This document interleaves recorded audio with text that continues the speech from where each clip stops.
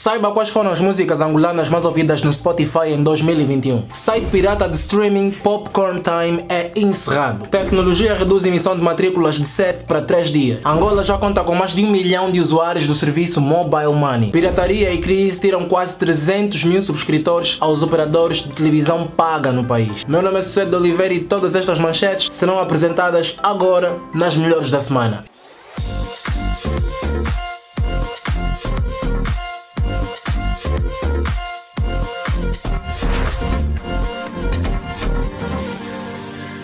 A caminho de uma semana, a nossa redação mostrou as músicas mais tocadas do Spotify pelos utilizadores angolanos no ano de 2021. A lista mostrou que o mega hit Peaches do Justin Bieber foi a música mais ouvida pelos angolanos. Aliás, essa música poluiu o TikTok de tal maneira que eu tive que ficar 4 meses sem acessar o aplicativo só para não perder o gosto pela música.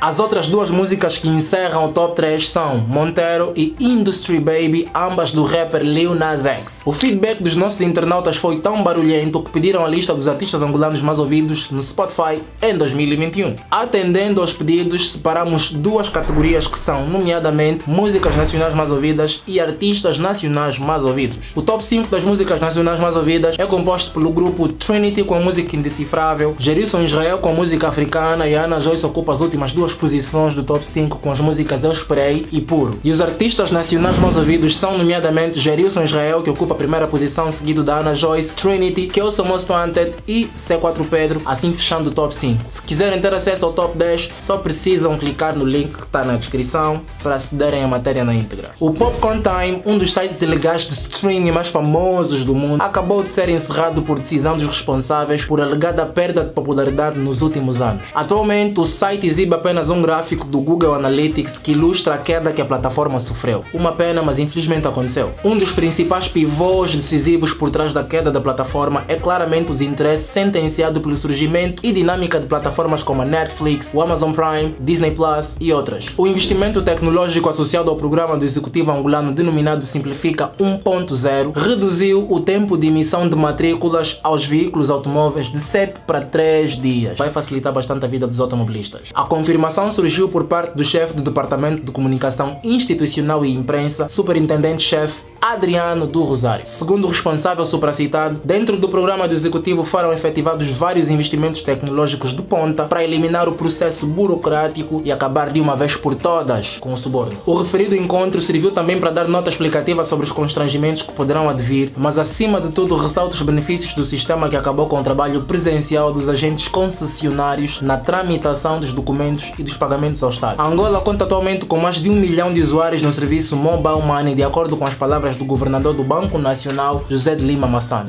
E disse também que estes números apresentam uma evolução de mais de meio milhão de acessos no espaço de um ano. Todos os dados apresentados sinalizam uma forte preferência dos consumidores em beneficiarem dos serviços bancários por via de dispositivos móveis. O Banco Nacional de Angola pondera a implementação de moedas digitais nos números divulgados. Vê-se que os valores movimentados na rede interbancária dos serviços da EMIS por todo o ano de 2021 totalizaram 17,6 bilhões de kwanzas, o que representa uma subida de 32% em relação ao ano anterior. Para que obtenham mais informações a respeito, já sabem o que fazer.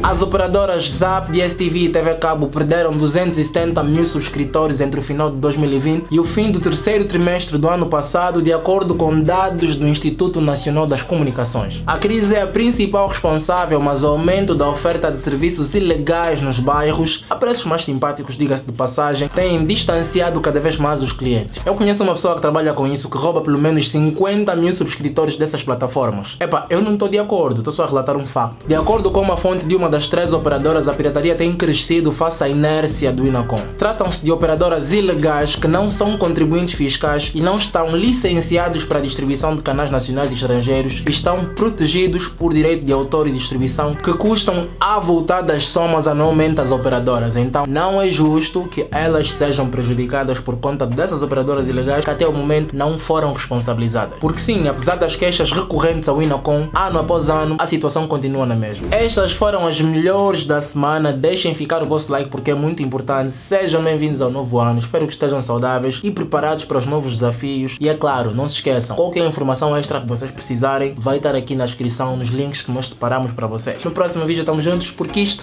é um até já. Fui!